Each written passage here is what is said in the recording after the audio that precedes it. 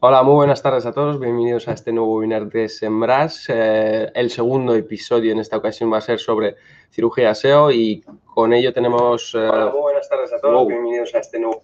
Tenía, tenía la otra pantalla. Cosas que pasan. Siempre se me olvida quitar el sonido, pero no, o sea, normalmente tengo los, los auriculares. Bueno, lo, lo, que decía que es, hoy, hoy eh, en esta ocasión vamos a tener a Natir Turrado. Antes de presentarlo, muchas gracias a todos a las personas que nos han enviado su propuesta, es decir, las estuvo, las estuvo analizando y al final he elegido tres que las, las me acaba de comentar que las ha publicado en Twitter. Uh -huh. uh, bueno, Nacir es consultor SEO freelance con base en Barcelona. Su trabajo consiste en incrementar el tráfico orgánico de grandes portales nacionales e internacionales. También colabora en el crecimiento de startups y ahora colabora con los webinars de Sembras. Uh, bueno, uh, para los que no sabéis, um, no, es la primera vez que estáis en la cirugía SEO, hoy Nacir va a coger uh, unos sitios web y va, nos va a enseñar los errores más graves y los aspectos más importantes que tenemos que, debemos de tener en cuenta a la hora de realizar una auditoría SEO y tener una página web saludable a los ojos de Google. Así que no, sin más dilación, Nacir, puedes empezar. Uh, recuerdo que la, todas las preguntas las, las, haremos al final, las podéis ir haciendo en YouTube o en, uh, en el Twitter con el hashtag de RAS en vivo. Nada más. Okay. Nacir, Muy bien, muchas gracias por la, por la presentación. Antes os quiero enseñar las, mis oficinas de hoy. Hoy me toca estar en cliente. Aquí os quiero dar un poco, un poco de envidia, de, de postureo. Son muy chulas, la verdad, estas office. Hoy tenía que currar aquí y me escapa un momentillo para hacer esto. Vale, os comento. Eh, me he decidido eh, esta mañana por, por, tres webs. Les he dedicado, me gustaría haber dedicado más, la verdad, pero estoy ya digo, estoy en cliente y, y no podía dedicarle mucho, más, mucho más tiempo. He revisado más o menos, he llevado una, casi una hora por, eh, por sitio, ¿vale? En este caso he escogido eh, una web de camisetas ecológicas, porque me, la he escogido porque me, ha llamado, me ha hecho gracia, me, gustaba el, concepto y todo lo que sea ayudar al planeta, pues bienvenido sea. Yo intento devolveros el, favor por lo que estáis haciendo. Luego también he cogido eh, una empresa de Canarias que se llama Cosei Cosmetics, y lo he cogido, ¿por qué? Porque me he entrado a la página de, de sobre, sobre la, la, autora, en este caso, la, la emprendedora, la, jefaza, y, y, me ha gustado la historia que ha contado, cómo empezó, cómo, cómo, cómo emprendió y cómo acabó desarrollando un producto que, que, ha sido premiado, incluso ella ha recibido un par de premios, así que enhorabuena, todo lo que sea eh, luchar por levantar este país, lo agradezco y por eso también eh, me, ha, me ha hecho gracia auditarla. Luego, por último, pues por mi lado, por mi lado friki, me he sentido identificado con una web eh, de, productos eh, frikis, ¿vale? Y esta simplemente la he auditado porque me ha hecho gracia. y ya está. Me sentía identificado eh, con ella, ¿vale? Así que, bueno, ha sido... A ver, a ver qué podemos sacar en, en, en, una, en una horita. Os voy a compartir pantalla. Ahí estamos. Muy bien. Eh, antes de nada quiero decir que no únicamente he revisado la web desde el punto de vista SEO, eh, porque muchos de los problemas de SEO son porque el, o el concepto no se entiende o porque la, página no está del todo eh, bien hecha, en este caso para, para, los usuarios. Es decir, a mí también me gusta darle un poco al SEO esa, esa, esa otra capa. Eh, ¿Vale? Esa, parte de, conversión. Y creo que también la parte de conversión le, va a ayudar a, estos emprendedores a, sacar adelante su producto. Tampoco le he dado mucho, mucha caña al SEO, aunque bueno, algunas cosas he sacado, porque tener en cuenta que una auditoría a, a, a, un sitio web a mí me suele costar entre 50 y 100 horas analizar. Le analizo muchísimas cosas. Eh, puedo estar tranquilamente un mes con cada web. Eh, os digo que aquí he sacado lo que he podido hacer en, en nada, en una horita por portal, eh, ayudándome con herramientas como, como SEMrush y, lo que, y cuatro cositas que he podido sacar. ¿vale? Así que vamos a empezar primero con la, eh, con Sirem eh, Wild, que es esa tienda de camisetas eh, ecológicas. Vale, ahí vamos para arriba. Vale, entonces me he hecho un pequeño guion para que podamos eh, eh, ir siguiendo todos. también y para que no me pierda yo, porque, porque lo acabo de hacer y he visto eh, bastantes cosas, ¿vale? Una de las primeras cosas que he visto en, en Siren Will es, es que, eh, bueno, es, una web con muy pocas URLs, ¿vale? Pero siendo una web con muy pocas URLs, eh, llega a generar tropecientas mil, ¿vale? ¿Por qué? porque genera, genera un montón de, bueno, gracias a, los parámetros, pues se, combinan un montón de URLs entre ellas. Eh, me he dado cuenta de que, de que la cosa no iba bien cuando he pasado, en este caso, Screaming Frog he visto que llevaba un 7% del crawl y que llevaba de 2.500 URLs ya crawleadas y, faltaban todavía 32.000, eh, o sea, una maldita locura y, creciendo, ¿no? Esto es típico de sitios así que, pues, que pues que no, no, tienen muy controlados el tema de los, de los parámetros. Y os digo que es una web que no tiene más, yo sé, a lo mejor tiene 300 páginas, lo estoy haciendo así un poco de cabeza, ¿no? Pero para que veáis lo que puede llegar a ocurrir cuando hacemos este tipo de cosas, ¿vale? Cuando permitimos los parámetros, ¿vale? Que es cierto que en algunos tiene puesto... Em, eh, los, tiene, los tiene puesto con Canonicals, pero eso es un, es un, es un parche. Al final eh, Google puede ver esa, esa, URL. Otra cosa que podríamos hacer es, pues, es meterle un nofollow a, a, esos, a esos parámetros, ¿no? Eh, pero bueno, esa URL sigue existiendo. Entonces, para que os hagáis una idea de, únicamente en, la URL de tienda Siren Wild, ¿vale? En esta de aquí, si metemos los filtros de talla, ¿vale? Que son 4, más los de color, que son 13, más los de precio, que son 4, más los, las ordenaciones, que son 5, si hacemos el cálculo, que esto lo podéis hacer en Excel con la, con la función eh, esta de la, que hace la combinatoria, ¿vale? Salen 14.000 URLs únicamente de una URL. Pero es que aquí la, fiesta no acaba aquí, porque esta URL además tiene, eh, se genera una URL por cada botón de Add to Wishlist y por cada botón de Add to Cart.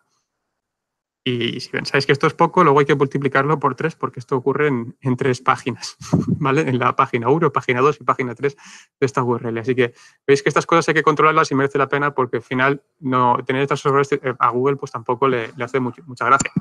¿vale? Va a perder mucho el tiempo.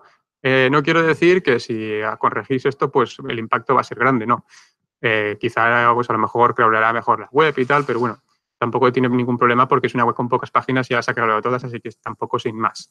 ¿vale? Hay mucha moda de, de, ofuscar y ofuscar cosas y porque sí, pero bueno, yo creo que en este caso sí que perder el tiempo en esto creo que sería interesante, aunque ya os digo que el impacto no sería lo esperado en este caso. Luego he visto que también, esto lo he visto pasando en Rush, ¿vale? que me decía que tenía eh, eh, URLs duplicadas. Me he ido a ver cuáles eran. ¿vale? Y entre ellas ha encontrado pues, las URLs de tag.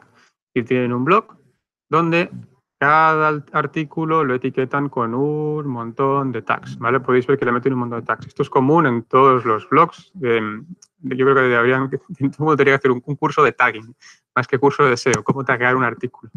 ¿Vale? Podéis ver que son, todos son tags accesibles y en este caso estas dos páginas son idénticas con un, un único artículo, ¿vale? Aquí una solución, pues directamente eh, unificar primero los, tags eh, con sentido, no, etiquetar un artículo con más de uno o dos, tags no tiene mucho sentido, la verdad, aparte de la categoría. Y en este caso, eh, no quiero que tenga sentido luchar por Fashion Week, es, imposible, ¿vale? Con un blog como este, así que no index follow a todo esto y, y fuera, ¿vale? Luego, esto es un error común que también cometen muchas, eh, muchas, muchas webs y muchas tiendas en general, ¿vale? Que es un sitio con muy poco surtido, pero lo pongo para que veáis a nivel general, ¿vale? Se están mostrando, nada, muy pocos productos en, 16 resultados en una paginación. Eh, en este caso, yo no, recomendaría, no les recomendaría que mostraran más porque la web es, es, bastante lenta, ¿no? Pero si conseguís arreglar el performance, oye, mostrar entre 40 y 60 resultados por página no es ninguna locura. Si la web carga lenta, si le metéis su lazy loading y todas estas cosas, se solucionaría. ¿Y qué te evitas con eso? Pues que se multiplique por, eh, no por tres, sino multiplicar por tres más por todos los filtros, las URLs que te vas a ahorrar. Y no solamente eso, sino que tendremos una, una, una home, ¿vale? Perdón, una home de una categoría mucho más eh, rica, ¿vale? Con más contenido. Y esto es un quick win. En general, en cualquier e-commerce, mostrar el máximo de productos que podáis eh, para cargaros paginaciones es lo mejor que podéis hacer, ¿vale? Aparte que a la gente le gusta bastante eh, scrollear, ¿vale? Sobre todo, sobre todo en móvil. Eh, ¿Qué más cositas ha detectado SEMrush el pasar la auditoría del sitio? Eh, pues que tiene un montón de, URLs con las etiquetas de título duplicadas. Esto, no es un problema eh, si son URLs pues, de paginaciones, si son URLs de, páginas así que es normal que las tengan duplicadas. Lo único que, te, te, crean ruido a la hora de analizar, ¿vale? Pero no ocurre nada por tener esas etiquetas duplicadas. El problema que tiene Sitting Wheel es que las tienen en productos en, categorías principales. En este caso, eh, la categoría de camisetas de hombre, pues este es su título, ¿vale? Y su descripción también es idéntica para todos. Aquí eh, habría que haber hecho un, pues un keyword research y eh, utilizar, pues yo qué sé, pues, bueno, o describir directamente la página, ¿no? Pues camisetas de hombre eh, ecológicas y, fuera, sin complicarse más la vida. Al final el título tiene que decir lo que pone el contenido más allá del volumen que tenga las keywords, del volumen de, búsquedas que tenga una keyword, ¿vale? También hay mucha gente eh, obsesa con eso. Luego la página es muy lenta y no solo me he dado cuenta navegando, sino que también lo he visto con SEMrush. Podéis ver aquí como prácticamente las páginas, todas las páginas detectadas eh, le ha costado rastrearlas y no solamente eso, sino que no ha podido rastrear unas 1800 páginas por lentitud. Sobre todo las que petardean son cuando empiezas a meterle filtros y cosas así. Es un horror de página, ¿vale? Eh, no sé si tienen el, dominio, perdón, el, host en, One and One, pero bueno, creo que, es, creo que he visto así por encima que era un, era un WooCommerce. Los WooCommerce no es que vayan mal para un sitio como el suyo, que no, que no tiene muchos productos, pues eh, para salir del paso va bastante bien. Problema que si no se optimiza bien y si no se, no se, eh, no se utiliza bien la base de datos y si no se utiliza un servidor con condiciones, eh, pues eso no va a tirar, ¿vale?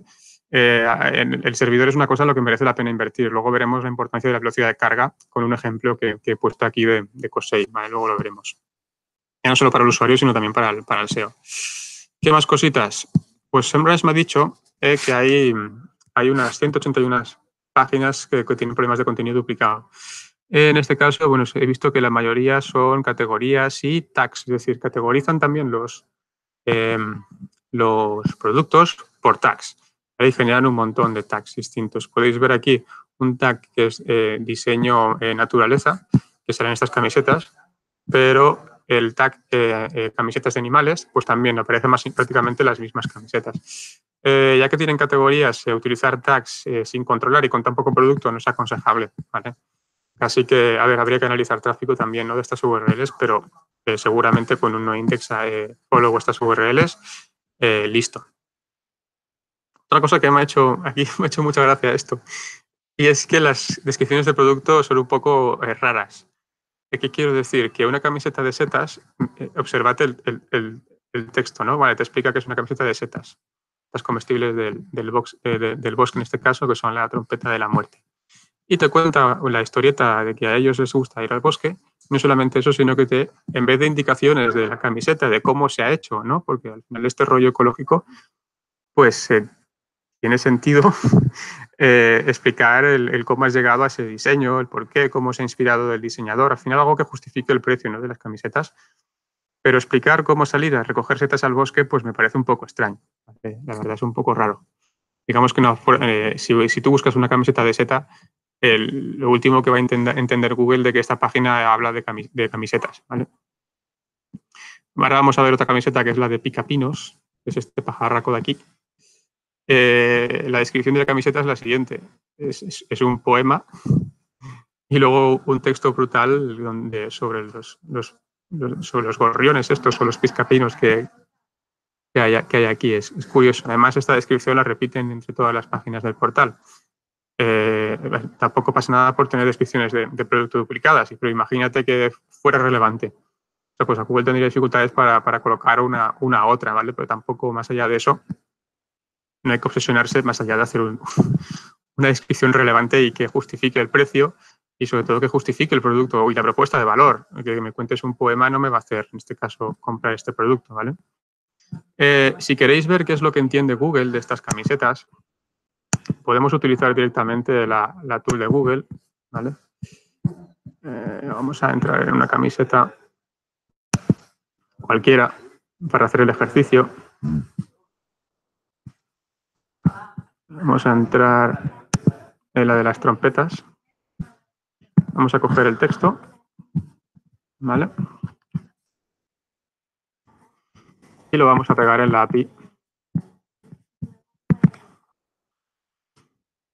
de análisis eh, semántico de Google, ¿vale? Vamos a ver las entidades. ¿Vale? Eh, aquí nos está ordenando por orden la relevancia de cada una de la entidad que ha detectado, ¿no? Pues detecta las que, que son setas, que son setas comestibles, muy bien. Detecta eh, work of art, pues supongo que será o el, o el, o el artista el que, el que ha hecho esto o el tipo de, no sé, tengo ni, mal, tengo ni idea de lo que quiere decir esto. ¿Vale? Podéis ver que bueno, han hecho un buen trabajo en, en explicar la, la, la, seta. ¿Vale? Hasta el punto que no, no, lo, no, lo, confunde con la trompeta de la muerte, no la confunde con una trompeta musical, ¿no? Pero de esto no va la, no va la, la cosa. Tenéis también otro, eh, eh, más herramientas para detectar esto. Tenéis la, una herramienta que es muy chula, ¿vale? Que es esta, es esta de Google, donde tú le pones eh, una query, en este caso vamos a poner eh, eh, setas, vamos a poner trompeta.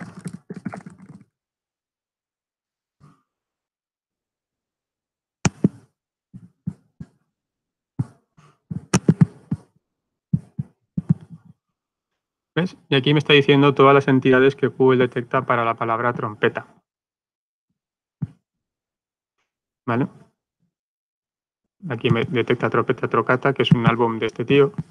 ¿Qué más cosas? De las Circus me detecta que trompeta también puede ser una, una película, ¿vale? También puede ser un libro. ¿Veis? Trompeta al final quiere decir muchas, muchas cosas.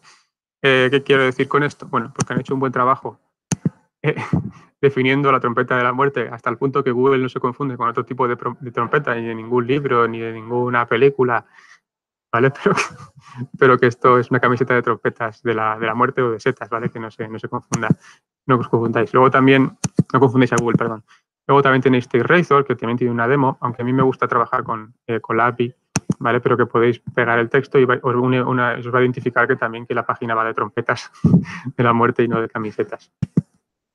Luego otra cosa que es, una, es, una, es un apunte, es simplemente el, el logo, pues yo no lo, no lo, entendía. Y una de las cosas y los principios que tienen que tener los logos es que los logos se tienen que recordar y, y tienen que ser eh, eh, fácilmente reconocibles, ¿no? Eh, no estoy diciendo tampoco que, que, que cambiéis el, la, la, el Sirem Build ni el Sirem, ¿no? Pero aquí yo leía eh, Sirelu, ¿no? no era capaz de, de entender esto.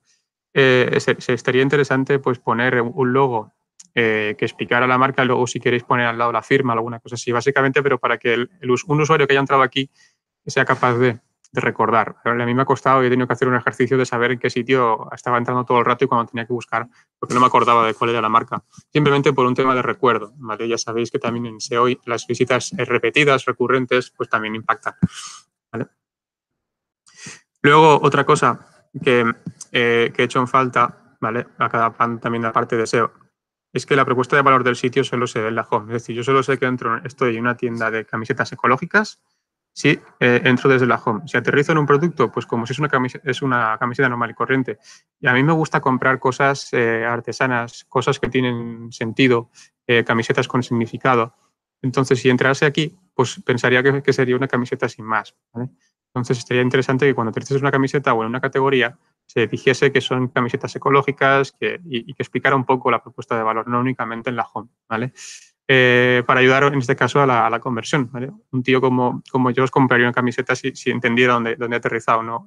Eh, de, por ejemplo, si alguien ha compartido un enlace en Facebook, pero si no, no haré, sin, sin, explicar el concepto, pues eh, seguramente no me la compraría. Vale, ya sí tengo el armario de casa lleno de camisetas que luego no me pongo, simplemente por intentar ayudar a, artesanos, ¿vale?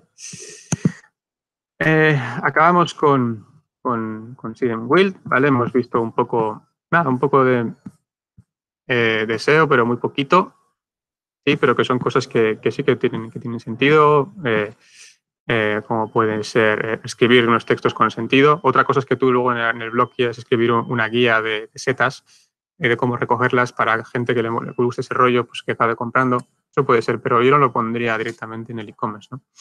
Hemos visto que Google pierde el tiempo, o habría que ver los logs para compararlo, ¿no? pero seguramente hay muchos pues, filtros eh, eh, que generan infinitas eh, URLs.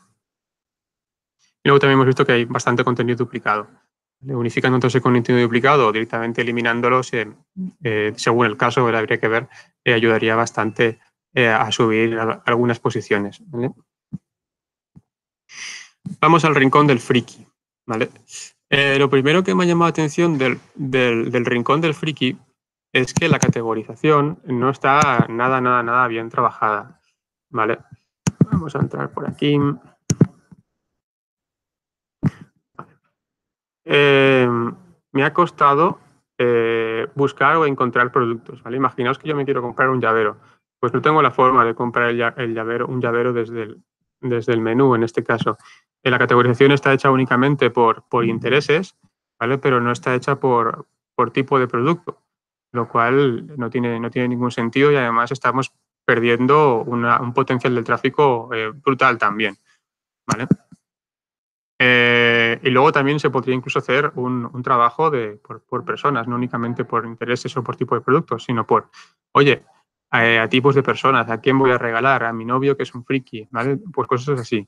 Os pongo dos ejemplos de gente que soluciona bien este tipo de, de, intereses y de personas. Una de ellas es una de mis páginas preferidas, eh, Friki, que es ThinkGeek. Podéis ver cómo se puede eh, comprar por categoría, ¿vale? Por tipo de producto. Además, con un Big Menú, porque además tienen tanto surtido que un Big Menú, en este caso, ayudaría también a, a, que, a generar enlaces a todas estas listados de aquí, desde prácticamente todas las secciones de la web y aparte encontrar un usuario que encuentre cualquier, cualquier producto. Luego tiene pues la categorización que tiene hecha eh, el, friki, ¿vale? El enano friki, es por, por interés. Además, eh, gracias al Big Menú pueden meter más, eh, muchos más intereses distintos, está mucho más ordenado.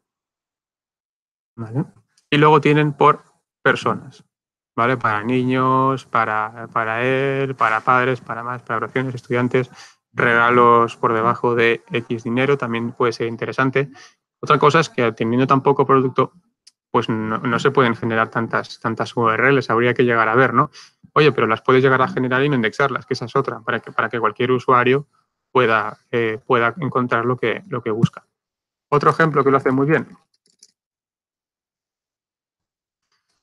El regalador. el regalador, joder. Aquí podéis ver que tiene buscador de regalos por aficiones, personalidad, por edad, ¿vale? Luego tiene los departamentos. Es como tienen trabajados, es decir, puedes llegar a un regalo eh, por diferentes, desde diferentes eh, puntos de entrada, ¿vale? Y es una cosa que he echado en falta en, el rincón del friki. Lo que sí que tiene el rincón del friki es que tienen los tipos de producto. Lo que ocurre que los tienen en un filtro, ¿vale? que no son accesibles, es decir, tú puedes, una vez has entrado en Harry Potter, puedes luego escoger el tipo de producto, pero estos tipos de productos no son accesibles. Eh, ¿Qué ocurre? Que llaveros de Harry Potter pues se busca bastante, lo suficiente como para poder generar una categoría y que se indexe. Es decir, quizás sería interesante hacer ciertos tipos de producto de este listado de aquí accesibles y generar URLs con Harry Potter llaveros. A lo mejor no tiene sentido si no tiene, por ejemplo, eh, coronas, de si tiene una o dos coronas de Harry Potter, pues quizá pues no, no hacer indexable esto, ¿no? Pero el resto sí, ¿vale? Sí que lo que se recomienda es, rehacer eh, toda la arquitectura de la información basándose en Keyword Research y luego validarla eh, con un tritest. Con un tritest nos aseguramos que cualquier persona sea capaz de encontrar cualquier tipo de producto. Yo he hecho la prueba y no he sido capaz de encontrar llaveros, ¿vale? A menos, a menos que haya entrado en una categoría antes. Y luego he comentado antes, luego en base a cantidad de stock, pues se puede llegar a indexar eh, según combinaciones. Pues, por ejemplo, artículos eh, Harry Potter podría, ah, por cierto, artículos Harry Potter o productos Harry Potter podría ser también un título más relevante eh, para la sección y no únicamente Harry Potter. O sea, intentar o pensar que alguien se va a posicionar por Harry Potter con un e-commerce recién lanzado, pues es imposible. ¿vale? Es decir, ¿cuál es la intención de Harry Potter? ¿Qué es lo que tú tienes? Que tengo tazas, llaveros, o artículos en este caso, ¿no? aquí podéis ver cómo, a ver, dónde estaba. Esto lo he hecho, por ejemplo, con HRF. Estoy, una de las cosas que me gusta de HRF es el, el, el análisis de palabras que puedes llegar a hacer. Como tazas Harry Potter eh, tiene 350 búsquedas. Taza Harry Potter creo que tenía 400 o 500, ¿no? O sea, pues que, que hacía sentido eh, ese, ese, interés, más tipo de productos y que llegar a indexarlo además cuando, cuando tiene producto. ¿vale? Llaveros también tiene búsquedas. Además, también he visto que tienen, por ejemplo, incluso las diferentes casas de Harry Potter, ¿no? Como los, los Gryffindor, los Slytherin, todos tienen también eh, búsquedas, pues quizás sería interesante. Son poquitas, oye, pero si tienes surtido, aunque haya pocas búsquedas, pues al final es una demanda que si tú puedes cubrir, pues no, no ocurre nada, aunque ya tenga poco volumen de búsquedas indexarle. Además, eh, creo que es un sitio que puede dar de más de sí la categorización. He visto que eh, la sección principal, que es y tiene 770 artículos, ¿vale? Pero luego estamos viendo cómo eh, Mario Bros, Naruto, Alien, pues no únicamente tiene cuatro o cinco artículos. Oye, pues, quizá, quizá, no sería el, digamos que, el interés no, no, es lo que hay que atacar tanto en este portal, a menos que tengas eh, eh, productos de este tipo, ¿no? Sí que he visto que de Harry Potter hay un cojón de cosas, ¿no? Pero de Naruto no hay, no hay nada, ¿no? Así que se podría, es un sitio que, trabajando bien la arquitectura y los filtros se podrían haber llegar a generar bastante tráfico, eh, la verdad. Esto lo he sacado de una forma muy sencilla. Me he ido a, a, a la página, ¿vale? He cogido una sección cualquiera y lo que he hecho ha sido botón derecho sobre el elemento de esto de aquí, donde pone mostrando tantos productos. Y lo que me he copiado ha sido el XPath de esto. ¿Vale? Esto. Os hacéis un, un custom extraction de XPath. Le dices que quieres extraer el texto. Y es una forma sencilla de saber cuántos productos tiene cualquier e-commerce. ¿no? También es un, es un, trabajo bastante interesante que puedes hacer pues, para decidir qué indexar y qué no, donde pues a lo mejor si tienes la medida del sitio eh, sin, sin, stock o, que, o, si tienes eh, filtros sin stock, pues quizás un, esto comparando con el tráfico te puede ayudar a decidir si lo mejor es o meter un canonical o no indexarlo o, o directamente eh, capar esa sección, ¿vale? Un ejercicio muy interesante eh, que podéis llegar a hacer. Luego, otra cosa que he echado en falta, y bueno, que esto también es un, en general a todos los e-commerce, los productos que son caros o, de decisiones más complejas, muerte a la, a la vista en, en, grid. ¿vale? Es una vista que no ofrece nada. Hay que mostrar las cosas en lista. Imaginaos, eh, si estamos viendo réplicas de algún tipo de producto, he, visto que tienen productos bastante caros, ¿no? Aquí he visto una cosa de 200 euros. Pues yo, yo, yo esto, eh, si fuera un friki de estas cosas, me gustaría saber un poco más. Eh, lo que hay que intentar es que el, que el usuario entre en, en, una ficha de producto para comprar. Si le podéis dar toda la información desde el listado, esas son las, fichas, en este caso, eh, efectivas, ¿vale? Son capaces de convencer al usuario desde, la propia, eh, desde ese propio listado.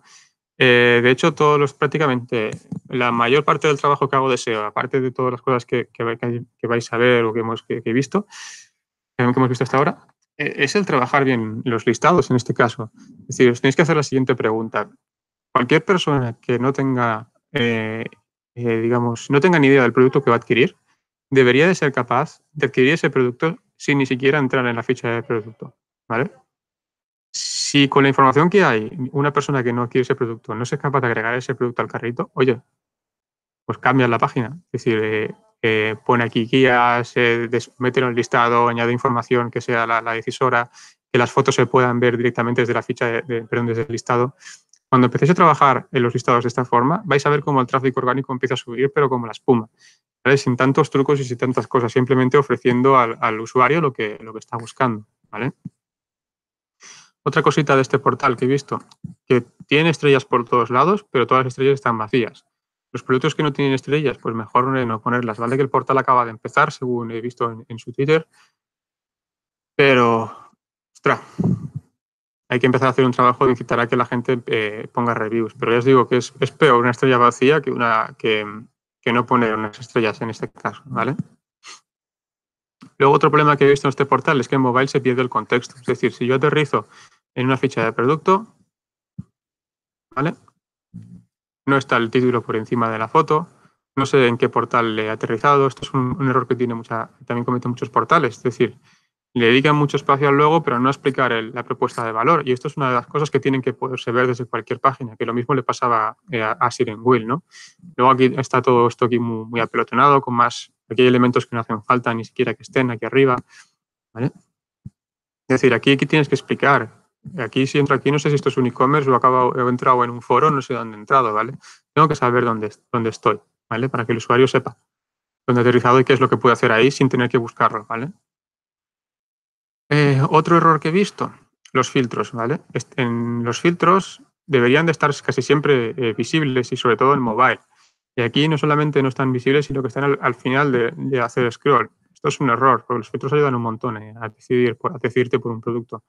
Otra gente los filtros sí que los pone arriba, pero los pone escondidos. Es una buena práctica que por lo menos los filtros principales estén eh, desplegados, ¿vale? Porque la gente si no, no, no usa lo que no ve, ¿vale? Otra cosa que he visto dentro del portal es que por todos lados, en todas las páginas, que si me registro consigo un descuento, pero en ningún momento sé dónde me puedo registrar. ¿Vale? Este, pone, eh, es todo el rato que dice, si te registras consigues un 5% de descuento, ¿vale? He intentado registrarme y no he encontrado la forma de registrarme dentro de, este portal. A ver, ponme aquí un link, por ejemplo, al registro en este caso. Pero igualmente la ficha de producto también es bastante, demasiada información eh, y innecesaria la mayoría, ¿vale? Como por ejemplo los mensajes de envío. Eh, este mensaje de pídelo, nosotros te lo traemos, pues, pues coño, claro, estoy en un e-commerce, si lo pido me lo vas a traer, ¿no? Es decir, este mensaje eh, eh, le da como mucha importancia para lo, que, para lo que va a decir, ¿no? Entonces, aquí podéis ver cómo está la ficha ahora. ¿Vale? Con esta información de envío aquí arriba. Aquí él también te podría gustar. No es una buena idea eh, sacar al usuario del funnel una vez ha entrado. ¿vale? Tened en cuenta que cuando un usuario entra aquí es porque ya quiere comprar esto, no lo llevéis a otro. Ah, eh, por lo menos no desde un lugar tan visible, o sea, ponerlo, ponerlo más abajo. Es decir, una zona inferior, los relacionados. Estos descuentos no he sido capaz de registrarme y luego los envíos y pagos es una letra tan pequeña que, me causa eh, horror leerla y, la, mayoría de usuarios pues, lo, va, lo van a ignorar. Entonces lo, que he hecho ha sido, eh, nada, lo he hecho con, eh, en un segundito. Me he cargado la mayoría de elementos de, la ficha de producto, los he reordenado un poquito y fuera. Esta, esta ficha de productos es mucho más limpia y genera mucha menos fricción que esta de aquí arriba. ¿Vale? Ay, que me he ido. Aquí estoy. Podéis ver cómo he puesto el envío inmediato en vez de el, otro mensaje tan raro que había. Eh, luego estos mensajes se pueden, eh, se pueden eh, hacer dinámicos, pues recíbelo mañana si lo compras hoy antes de las dos, por ejemplo, y los gastos de envío, pues en vez de todo ese carro, se puede resumir en algo así. He puesto un ejemplo, ¿vale? No conozco ni el producto, ni lo que cuesta un gasto de envío, ni nada. Pero bueno, hacer un, una tarifa plana de envío evita confusiones ¿vale? A menos que pues, si son envíos a, Canarias, ¿no? Que, bueno, pobrecillos que los tienen imaginados, pero ya me entendéis, ¿no? O, directamente poner un link con condiciones de envío, con más información, básicamente para que la ficha sea lo más simple posible. Y luego, pues, eh, el explicar que tenían envío gratis si las compras son superiores a X euros, ¿vale? También estaría bien eh, ponerlo. Eh, evidentemente, si un artículo ya cumple esa condición, pues directamente aquí que se ponga envío gratis y que todo esto se edite.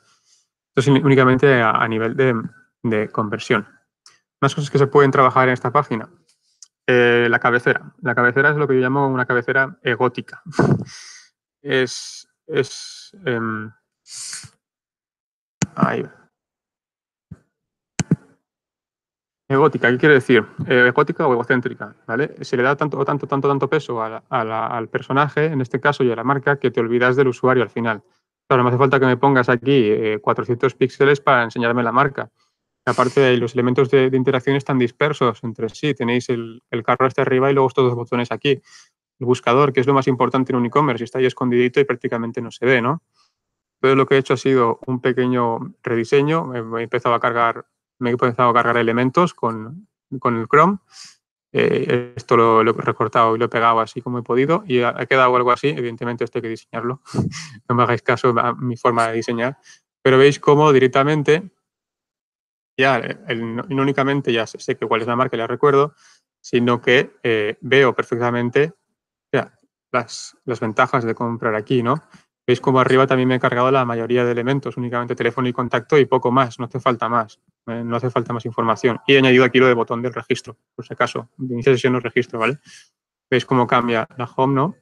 O cualquier página desde eh, como estaba antes, con un montón de links y, cosas que distraen, algo mucho más, más limpio. Y con la otra ficha, pues mucho eh, más limpio todavía. ¿Qué más cosas he visto? Bueno, esto ya es a nivel de SEO, ya le hemos dado mucha caña a nivel de arquitectura y, conversión. ¿Por qué se le pone no follow a las paginaciones?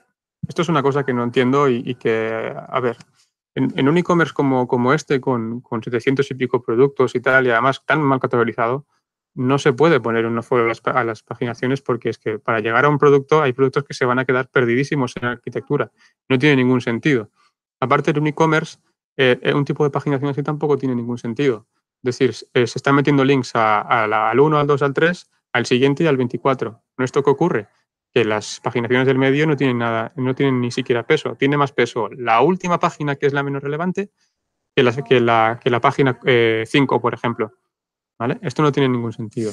En un e-commerce, donde además con tan, problemas de tanta categorización como este, donde seguramente Google tendrá problemas para llegar a todos los productos, pues tiene mucho más sentido hacer una paginación de este estilo, que es una paginación de tipo Costblock, ¿vale? Esto lo he utilizado en, ya en e-commerce como un resultados, ¿vale? Eh, en medios también sería, eh, no sería útil para medios, por ejemplo, porque en los medios generalmente las noticias profundas son menos relevantes, ¿vale? Es una cosa a valorar. Pero un e-commerce donde para ti todos los productos son, son importantes o te interesan tenerlos en el índice y bien, bien fuertes, pues una paginación así sería interesante. Ahí os dejo el link eh, podéis sacar de la página Audisto. Tiene una guía de cómo se, implementa y cómo funciona. Básicamente pones las, calculas las, todas las páginas que tienes y en base a eso generas una siguiente paginación. Lo que consigues es que todas las páginas tengan, en este caso, el, mismo, el mismo peso. ¿vale? ¿Qué más cosas he visto? Vale, redirecciones 302 a 404. Creo que esto se trata de categorías dadas de baja, ¿vale? No tiene, eh, eh, dar un, un, 302 a, un 404, pues quizá no es, no es lo mejor, ¿vale? No sería la mejor, la mejor opción, Lleva contra una página, además que creo que no es una plantilla, ah, estoy diciendo de memoria, pero creo que no es una plantilla eh, eficiente para servir un 404, ¿vale? una categoría de baja, pues oye, antes hay, que ver, hay que ver qué hacer con ella, ¿no?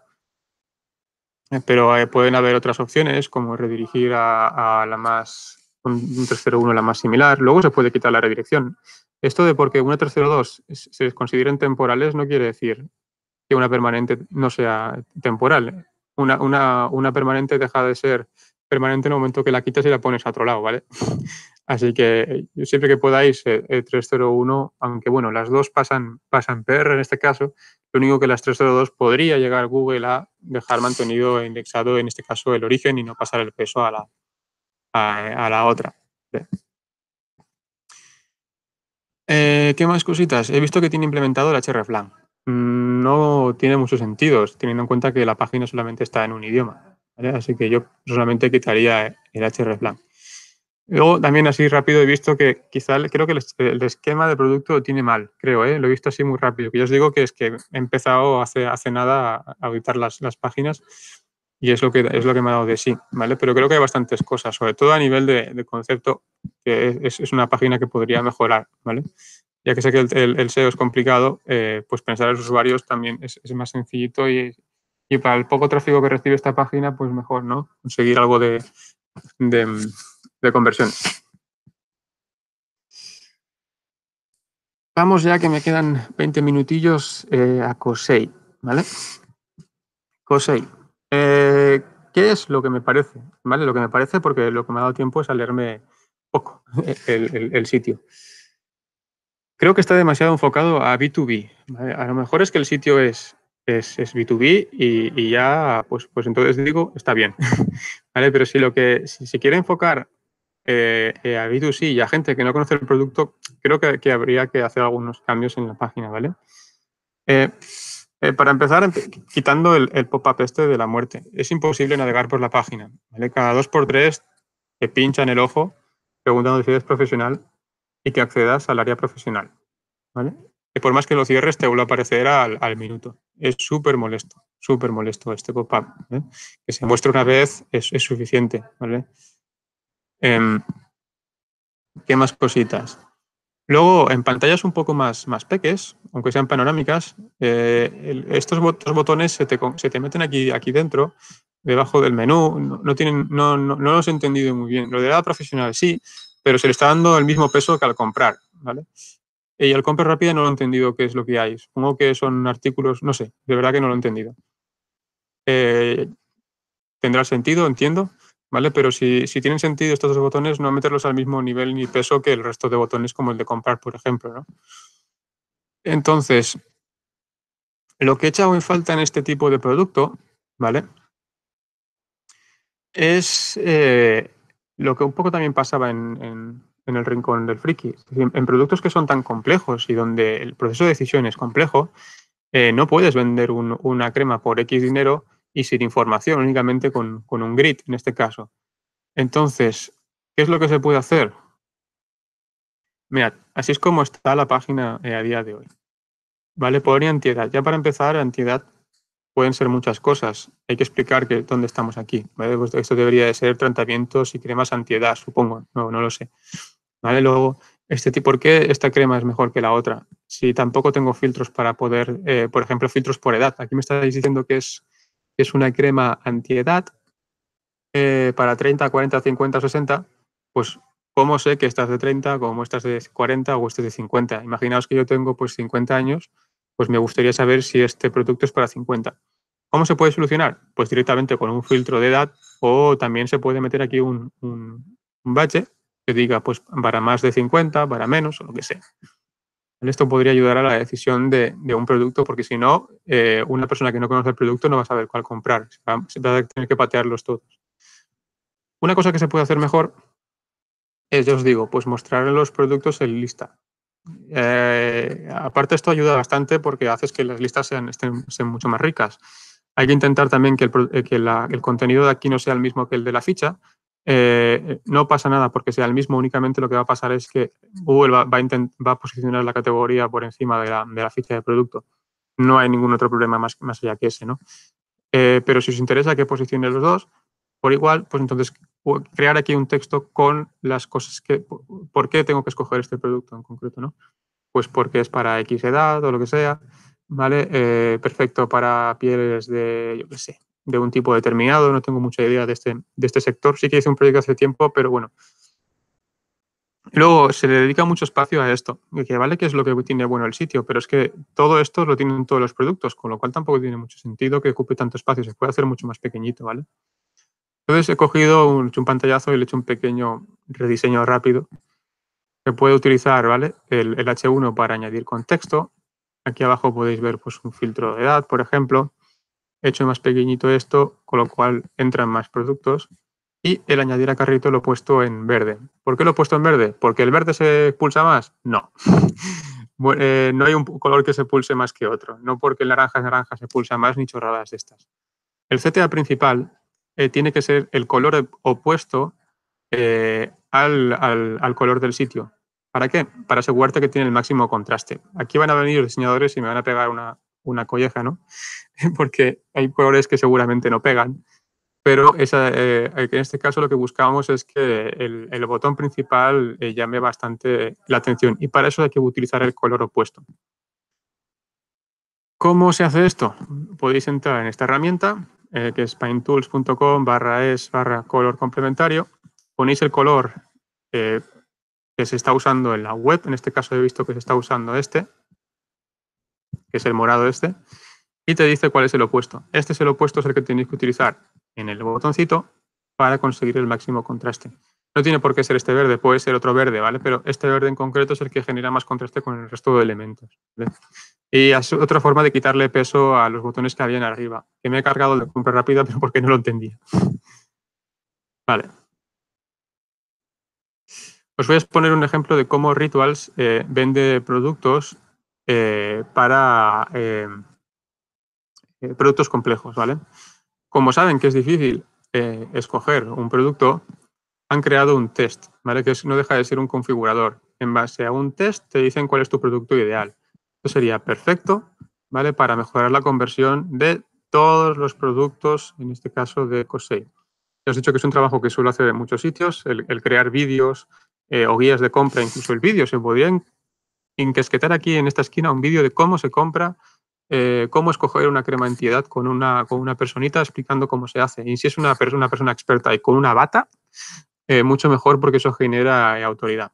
Decathlon, por ejemplo, mejoró la conversión de los listados añadiendo aquí un vídeo explicando cómo se escogían las zapatillas de running. ¿vale? Estos, cuando son productos complejos, con muchas variables para decidir, eh, hay que generar configuradores o, guías para ayudar al usuario a decidir. En los sitios que he metido el vídeo, aquí arriba, o he puesto el configurador, automáticamente ha aumentado el tráfico a estas fichas de aquí desde Google. Empiezan a rankear como la espuma en Google, ¿vale? No porque haya un vídeo, sino porque Google acaba entendiendo eh, que, esa página resuelve las necesidades de los usuarios. ¿vale?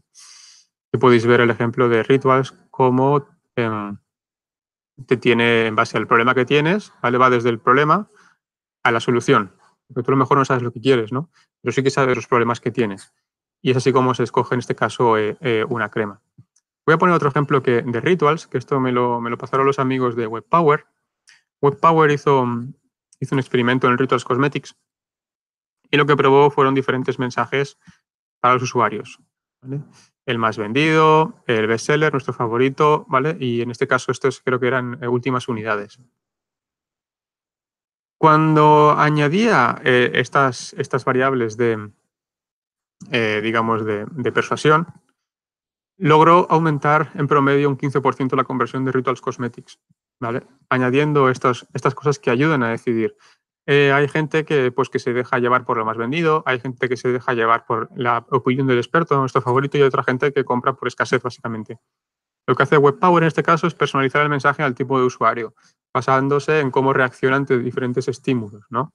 Pero bueno, no quiero decir que utilicéis eh, todas estas cosas a la vez, sino que podéis ir probando diferentes tipos de mensajes o añadir diferentes bullets como el de la edad, el más vendido y cosas así que pueden llegar a eh, decidir. Simplemente, siempre con una estrategia, no ponerlo porque lo acabo de decir yo, ¿vale? y siempre probando y midiendo, ¿vale? Los resultados de esto.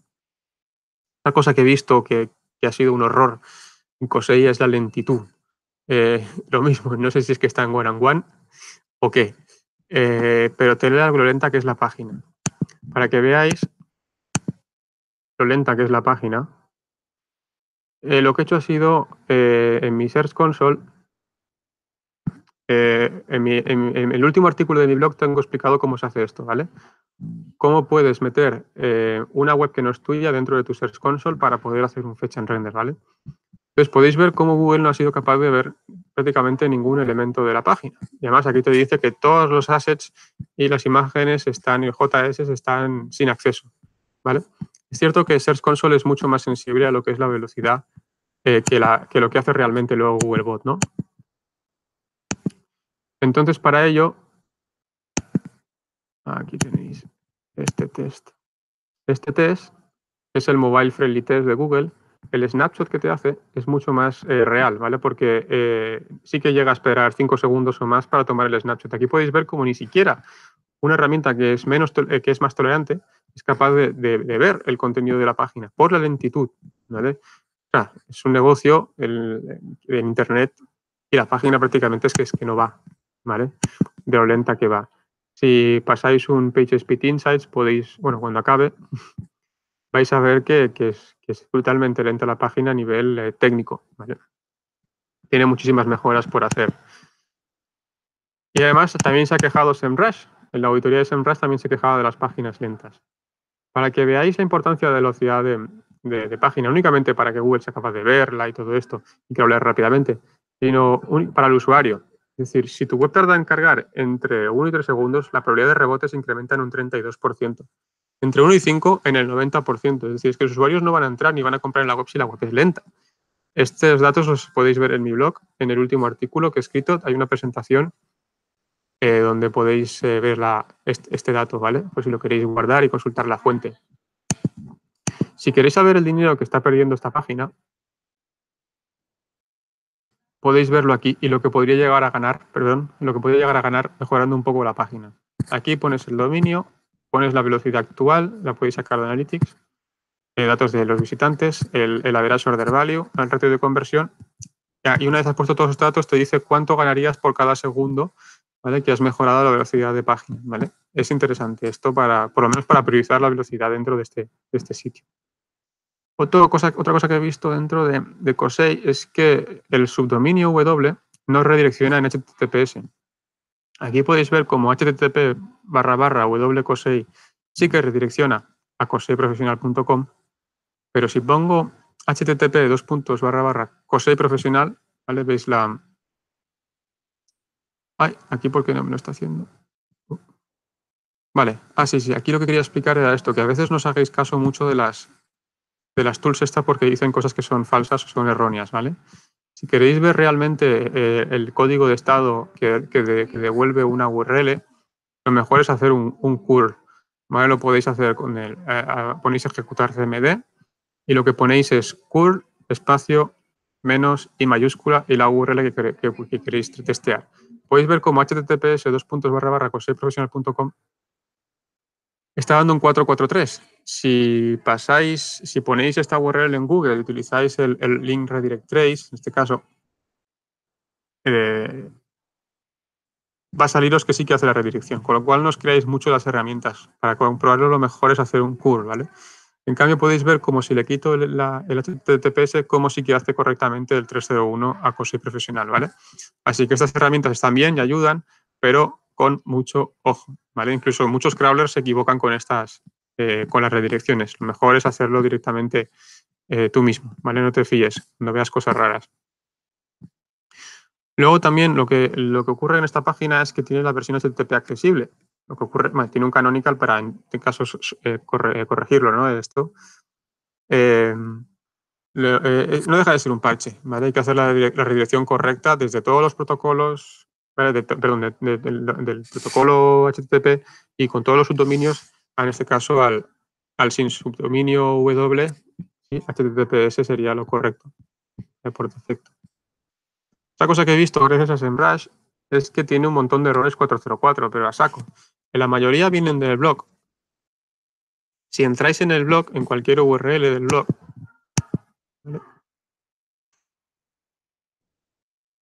Eh, quien ponga los links nos está poniendo mal. Vamos a entrar a este, por ejemplo. Si clico aquí. A ver, es que la web carga. Mira, ya está el pop-up. ¿Veis? Me da un 404, pero lo que ha ocurrido es que me está concatenando em, en la URL cosas que no tocan. ¿Por qué? Porque el enlace está mal puesto. Y hay un montón así no sé, 800 o así. ¿Vale? Podéis ver cómo no tiene puesta la barra. Con lo cual lo que hace es concatenar todo esto a, al enlace en este caso y petardea por todos lados la página. ¿vale? Otros errores vienen también porque tienen, tienen mal, hecha la redirección de los protocolos. Esto lo podéis ver todo en, la auditoría de SEMrush. Otra cosa que también he visto gracias a, a SEMrush es que los titles no son, y los H1 de todo relevante a las intenciones de búsqueda. Bueno, lo hemos visto antes también, ¿no? Con lo de antiedad. ¿Vale? Quizá habría que hacer un keyword research de cada sección y poner correctamente qué es lo que te vas a encontrar cuando aterrices en una de esas páginas. ¿vale? Lo que he puesto ha sido pues, tratamientos y cremas antiedad como para esa sección en concreto, pero esto habría que hacerlo con un, keyword research. Y aquí también ocurre en esta página lo mismo que en el rincón del friki, que es que sobre el hreflang. Creo que, creo, ¿eh? que no tiene la web en otros idiomas y eh, pues eso, que no tiene sentido poner el hreflang. Ya os digo, esto es lo que me ha dado a ver en, nada, en una lista para cada portal y creo que son cosas que, pueden ayudar en parte, ¿vale? He intentado dar mi granito de arena para eh, solucionar, ¿no? En este caso el SEO y la conversión de, ese portal, de los portales. Pues ya está. Bueno, Nacir, muchísimas gracias. Ha sido una montaña rusa. Muchísima montaña rusa. No, sé cómo decirlo, o sea, muchísima información ah, y toda buena. lo voy a aplicar a mis conocimientos. Si queréis os puedo eh, compartir el documento, bueno, o que me contacten los, los de la web y les, y les, envío el documento para que, lo, para que lo vean, si se han perdido algo, cualquier cosa y, fuera. Vale, pues recuérdanos tu handle del Twitter para que te contacten o tu correo electrónico. Es eh, arroba nachir9, ¿vale? por, por, Twitter directamente y les paso eh, por privado el link al documento. Vale. Ah, pues vamos a ver, no hay muchas preguntas. una, que es eh, de SNS Design. Em, cuando sembraste dice que tienes URLs con un bajo ratio de texto HTML, ¿cómo se solucionaría mejor? Es que eso no es un problema. Mm. Eh, no es un problema eh, por sí. Es decir, eh, es un problema en el caso de que esas URLs estén realmente vacías, pero eso, digamos, no hay ningún factor de ranking que te diga que eso es un, es un error, ni que te penaliza, ni te filtre por tener eso. Es, un buen indicador, a veces te puede, puedes llegar a encontrar páginas que están vacías y cosas así, pero no te preocupes por, ese error, porque no, es, un error. Ah, vale, piden que repitas tu email. Ah, eh, bueno, mi email, eh, mi Twitter es arroba nachir9. Te lo pongo aquí en el... Vale, lo, puedo poner aquí en... Oh, en el... ¿Cómo se llama? En YouTube. Nachir. Nachir9. Vale, pues de momento no hay más preguntas. Eh, que sea... Ah, ah, bueno, han preguntado sobre qué, qué es 302 y 404, pero justo ha respondido. Em, pues de momento no hay preguntas. Si alguien ve esta grabación, pues eh, si ya sabéis el Twitter de Nacir, si tenéis o surge alguna pregunta podéis acudir a, él. Em, y nada, Nacir, pues muchísimas gracias. Nada, aquí... Creo que lo has dejado claro, por eso no hay, no hay, preguntas. Sí, no. Pues me despido. Barcelona se despide a todo el mundo. bueno, eh, me, gustaría enseñarte Rusia, pero tengo mi ventana del patio y bueno, eh, y este, este fin de semana, el sábado juega Rusia contra España. Bueno, yo no, veo el fútbol, así que... yo tampoco lo veo, pero sé que juega España contra no tengo ni, idea, ni, ni, ni, siquiera... Si, bueno, además te he dicho que España juega, así que por lo menos no lo han eliminado. Está los octavos ya.